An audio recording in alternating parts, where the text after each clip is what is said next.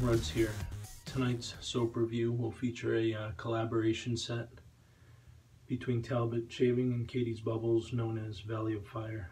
Um, Valley of Fire is actually a uh, concept I came up with to uh, commemorate my 10th wedding anniversary and I approached uh, Talbot Shaving and Catie's Bubbles to see if they'd be uh, so kind as to take on the project and uh, they both jumped in head first and uh, we were able to do a pre-order so that Talbot Shaving could get their feet wet in the pre-order market um, for about half of the uh, total quantity of soaps.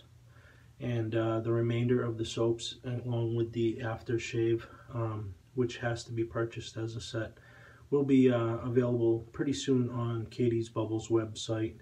So definitely check out Talbot Shaving's Facebook page and uh, Catie's Bubbles Facebook page and website uh, to keep abreast of when the uh, public release for the remaining stock will be uh, available. I know the soap is curing now, so I would anticipate it within the next couple of weeks.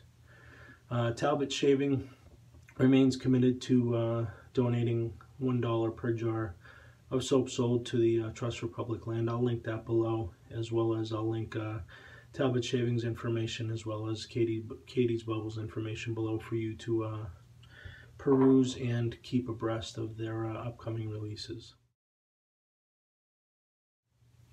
Alright, so Valley of Fire is a duplication of the uh, popular men's cologne Jimmy Choo Man, uh, which is billed as a, an aromatic woody.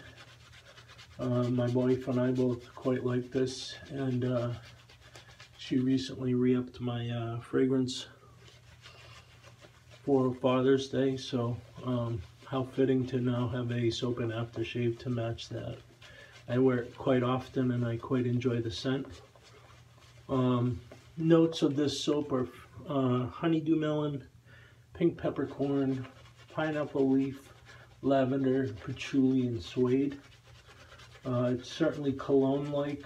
Um, in my opinion, it's masculine. I've heard some folks say this is a more feminine men's fragrance, but uh, I do quite enjoy it, and uh, Mrs. Ruds enjoys it, which is always the most important part when it comes to uh, what I use regularly.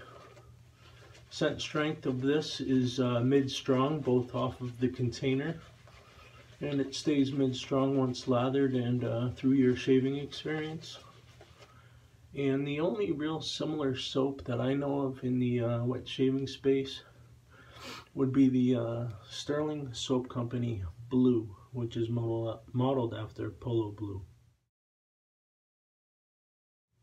Alright, so uh, this is not my first rodeo with Talbot Shaving. Many of you uh, probably will fast forward right now because you've seen plenty of reviews of the uh, performance, but for those of you that are new to the channel, this is the uh, V2 soap base, which was released in 2018 by Talbot Shaving.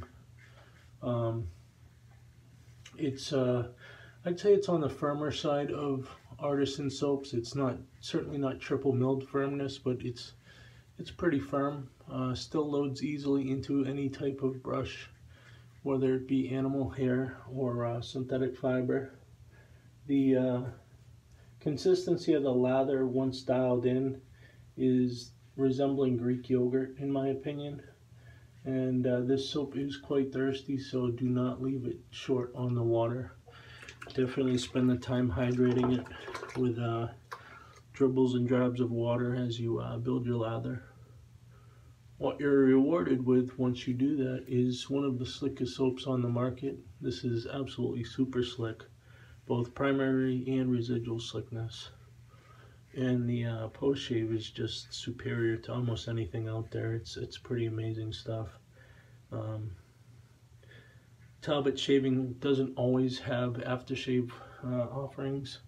They only have had this through collaboration, so uh, the superior post shave negates the fact that there isn't typically a post shave product to uh, go with it. You can use an unscented balm routinely if you need to, or a uh, unscented aftershave, but with this soap base, you don't need it at all. So the uh, resulting shave score is a 97, and the uh, performance of soaps similar to this would be uh, Declaration Grooming Icarus soap base, as well as the uh, Barrister Man Reserve and Glissant base. Alright folks, we're back. Uh, absolutely drama-free shave with the uh, Talbot Shaving of Fire soap. I'm going to be using the matching splash right now, which I don't typically do, but uh, kudos to Mr. Cullen for the uh, scent duplication and this amazing aftershave, which I don't see it getting much love, but it's one of the better aftershaves out there. It has quite a bit of skin food, just the right level of burn um, from the alcohol, and it leaves you uh, moisturized for hours and uh, protected for hours after the uh, application. So matches the uh, soap, which matches the aftershave, which matches the cologne that we we uh, so like here in the Ruds household. So definitely, definitely, definitely check out this collaboration soap and aftershave set, which will be available on Catie's Bubbles website here in the very near future. And uh, I'm sure those guys will appreciate your support with the uh, purchase of the remaining stock. As always, thumbs up the video if you enjoyed it. Comment below if you have anything to say. And if you're not already a subscriber, please become one. See ya.